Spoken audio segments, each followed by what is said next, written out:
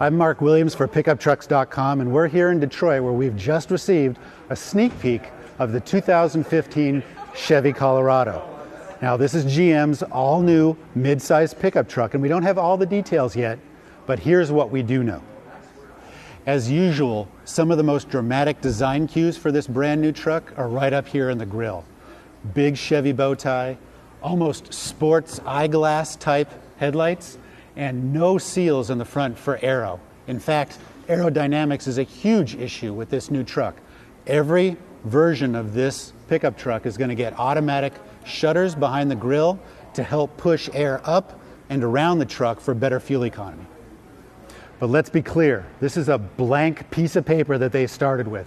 Even though there is a global Colorado, this is a completely different vehicle. In fact, the only thing it shares is the roof and maybe a half a dozen bolts throughout the frame. This is a brand new frame, front IFS suspension, rear live axle suspension with leaf springs.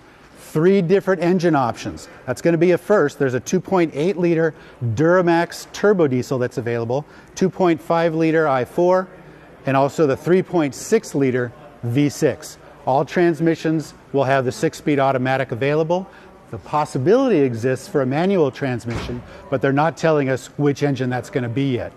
Two different wheelbases to accommodate a crew cab and extended cab configuration, two different bed lengths, five feet and six feet, depending on that configuration. Inside the bed, we've got a lot of cool details, pretty much straight from the 2014 Silverado.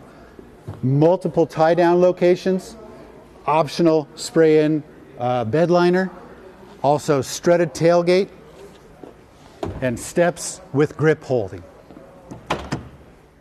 I don't think it can be overstated how much better this new interior is on this new Colorado.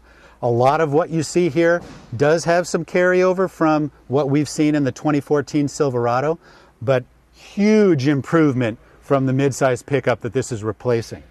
A much better and appropriately sized and thickened steering column. Very cool gauges that are easy to see, almost uh, similar to what they have in the Camaro. But a huge center information pod here, just like in the Silverado, with a huge 8 inch screen for information and for navigation, as well as some of the similar types of switches that they have in the half ton as well. In the back seat of this Z71 crew cab, pretty spacious, not a huge amount of space, but pretty spacious. But what we like is a lot of the details and thought that went into how functional and flexible these rear seats are. In fact, you can flip up the bottom, plenty of storage underneath to put tow straps, tools, anything you want. But if you have bigger boxes you want to stuff in here, you can flip down the rear seat backs and now you can stuff in the big boxes. So there it is. That's all we know at this point. We're going to get more information as we get closer to production, which we're told is going to be fall of 2014. At that time, we'll get more pricing information as well as a complete set of specs and data on the truck. For everything that we have up to date right now, check out pickuptrucks.com.